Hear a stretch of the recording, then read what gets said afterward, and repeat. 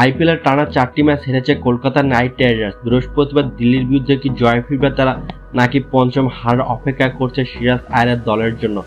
এক নজরে দেখে নেওয়া যাক দিল্লির বিরুদ্ধে কেমন হতে পারে কলকাতা নাইট রাইডার্সের প্রথম একাদশ।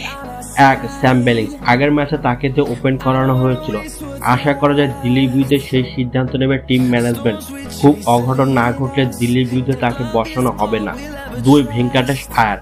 গত দুই মাসে সুনীল নারায়ণকে দিয়ে ওপেন করানো হয়েছিল, কিন্তু সেই ফটকা কাজে লাগেনি। ভেঙ্কাটেশ ফের পুরনো জায়গায় ফিরতে পারেন, তবে রানে ফিরবেন কিনা সেটি সময়ই বলবে। তিন সিরাজ আর ব্যাট হাতে দলকে ভরসা দিচ্ছেন, কিন্তু অধিনায়ক হিসেবে দলকে প্রত্যাশিত সাফল্য এনে দিতে পারছেন না সিরাজ আর। তবে দিল্লির ম্যাচে তিনেই নামবেন তিনি। চার নির্দেশনা নিতেশের ব্যাটে রান হারিয়ে গিয়েছে, চারের নামলেও তার ব্যর্থতা চোখ এড়াচ্ছে না। দলকে ভরসা দিতে পারেনি এখনও। তবুও দিল্লির ম্যাচে তাকে দেখা যেতে পারে। পাঁচ, রিঙ্কু সিং। এবারের আইপিএলে প্রথম ম্যাচ খেলতে নেমে নজর কেড়েছেন রিঙ্কু। ব্যাট হাতে দলের দ্বিতীয় সর্বোচ্চ রান তারই। চারটি ক্যাচ নিয়েছেন দিল্লির বিরুদ্ধে সুযোগ পাওয়ার লড়াইয়ে এগিয়ে তিনি। ছয়, অ্যান্ড্রে রাসেল, বলার ও ব্যাটার। গুজরাট ম্যাচে দুই ভূমিকায় দুর্দান্তভাবে পালন করেছেন রাসেল।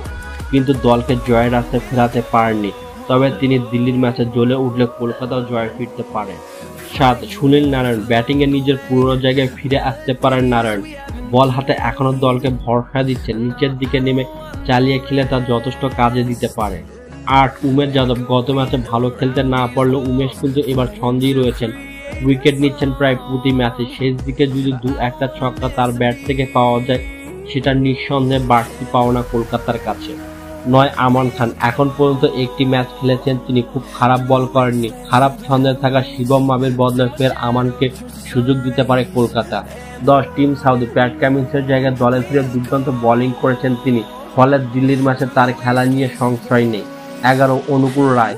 বরুণ চক্রবর্তীকে বারবার সুযোগ দেওয়া কিছু হচ্ছে না।